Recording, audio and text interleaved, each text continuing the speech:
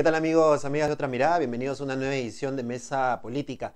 En esta oportunidad, nuevamente para darle, como dice nuestro nombre, otra mirada a uno de los temas que está dentro de la coyuntura y tiene que ver con eh, el asunto que se aprobó en el Congreso de la República de la derogación de esta norma que aplica el impuesto selectivo al consumo a las salas de juego o los conocidos casinos.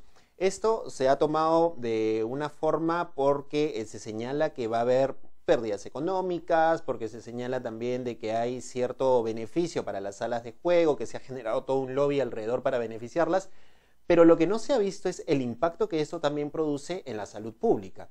Y es que, según las estadísticas, la ludopatía se está convirtiendo también ya en un problema de salud pública y un problema social cuáles son los efectos de la ludopatía, cómo esta decisión que se está tomando en el Congreso podría aumentar más aún este malestar o esta situación que estamos teniendo en nuestro país.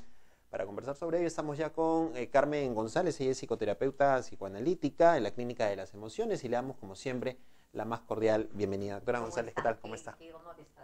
Bien, eh, conversamos un poco fuera de cámara sobre el impacto que esta decisión podría tener eh, en este aspecto de la salud pública, cómo está yendo el asunto de la ludopatía y cómo está afectando a, Lo que yo quiero decir antes es que em, con el referéndum nosotros nos damos cuenta que nuestras, nosotros como ciudadanos nos estamos empoderando y estamos metiendo las narices, estamos preocupándonos de lo que está pasando en el país.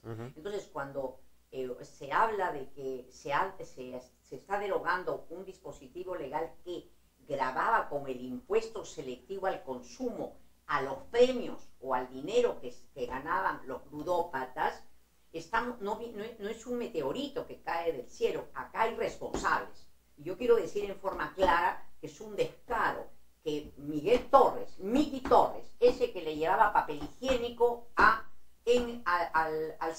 la prefectura cuando estaba detenida allí Keiko Fujimori, es el que ha presentado este, este, este. Él ha defendido. Y él, su estudio, el estudio que él tiene con sus hermanos, él ha renunciado eh, eh, aparentemente, pero tiene 16 clientes que son casas de juego. Eso me parece terrible porque en el país hay montones de situaciones donde el congresista Miki Torres debería estar legislando y no preocuparse de defender a 16 eh, casinos.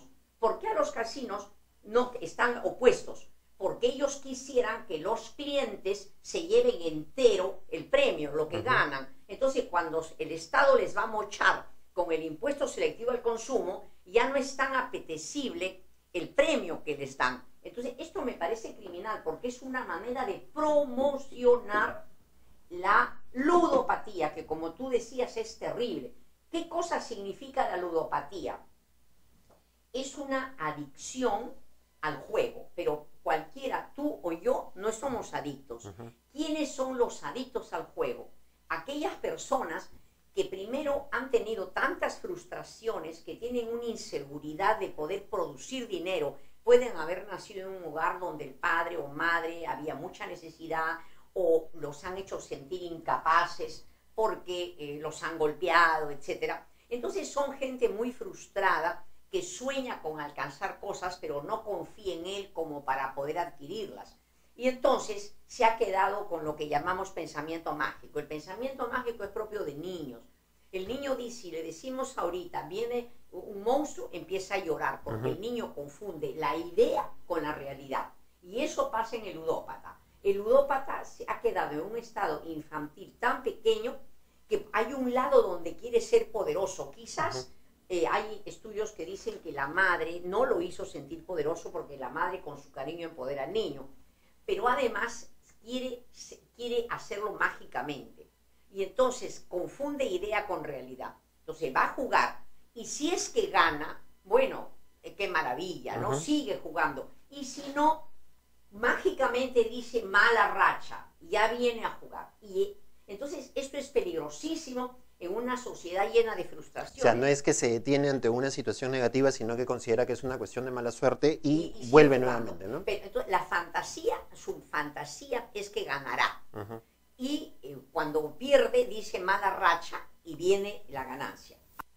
Es una enfermedad sumamente peligrosa sumamente peligrosa, porque los ludópatas no pagan hasta no quedar en la pobreza absoluta. Y cuando ya no tienen plata para jugar, roban a sus familias, etcétera, o se digan al alcohol. Entonces, es peligrosísimo. Y tú tienes que saber que más o menos el 15 o 20% de personas que van a jugar se convierten en ludópatas totales.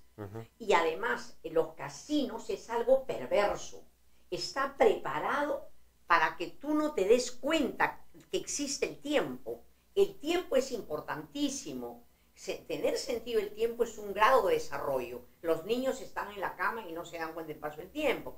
Pero todo está preparado. No hay relojes. No hay, no hay ni atardecer ni oscurecer, porque todo es con luces no hay contacto con, un jardín, no hay, no, hay contacto con la realidad. Entonces, la persona, y además ni siquiera hay billetes. Entonces tú no te estás dando cuenta de que estás perdiendo tu dinero. Entonces, todo es algo perverso. Y es verdad, mira, ha habido una campaña de las casas de juego para luchar contra los informales.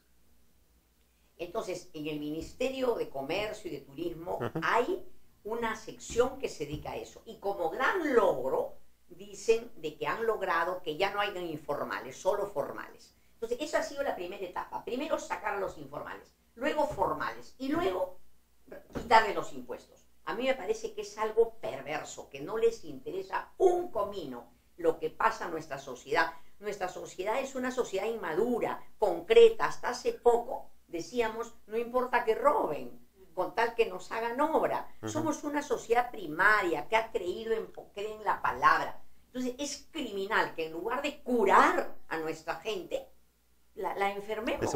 Ahora, a nivel de la, de la población, ¿cuáles son las edades más o menos en las cuales está fluctuando esta, eh, estas generaciones de personas que sufren de Mira, Lo que te quiero decir es que esto empieza con la ludopatía en el, en el Internet.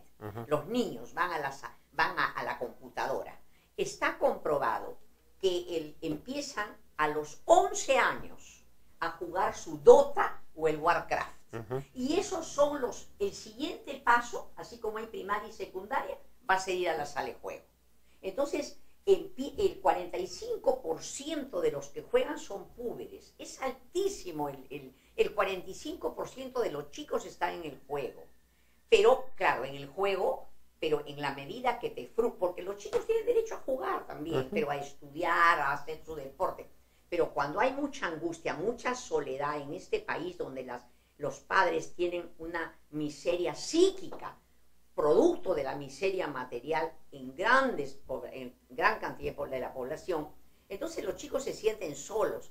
Y el único, uno de los placeres que tienen, aparte de masturbarse, de tocarse, otro, o ver, o ver pornografía, es el juego y soñar van a ser poderosos. Y esto se apodera de tal manera que la persona empieza a pensar solo en eso, los chicos.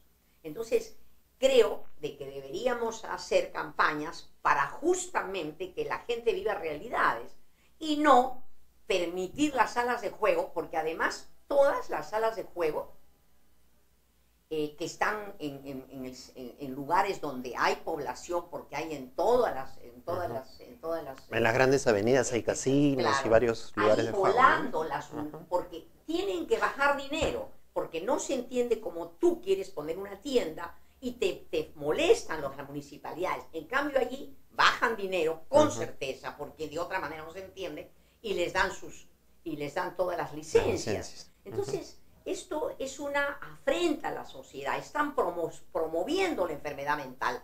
Y tenemos que hacer algo, así como hay grupos en el mundo que ya, no le, ya están contra toros, incluso en la propia España, porque es algo primitivo, acá también no podemos creer en milagros, pues, y acá se está promoviendo el pensamiento mágico de la gente y empobreciéndonos, y, fomentando el delito, y fomentando la salud mental. Yo había traído unas cifras donde en el Seguro Social dice que, mira, el, el 33%, mira, aumenta cada año. Y en los últimos años hay 5% más. O sea, aumenta la ludopatía. Y tenían que ir a hospitales, no hay productividad en las familias, los chicos se enferman, entonces tenemos que poner... Y con, y con trastornos y con cuadros también de trastornos ponemos ansiosos depresivos también. Ah, claro, detrás está las familias. Sufren dos, lo que tú dices, ansiedad y depresión. Y ahora en los hospitales, me decía un director de un hospital, de que desde siete años ya están en ludopatía. Y esos son los que a mí no me va a decir una, una casa de juego, si yo le preguntara al dueño, ¿no? No me va a decir que no está feliz de que haya más ludópatas. Y eso me parece que es una autodestrucción de nuestra humanidad. Hay una sensación falsa de bienestar en todo caso de quienes ganan, cosa ¿no? Perversa.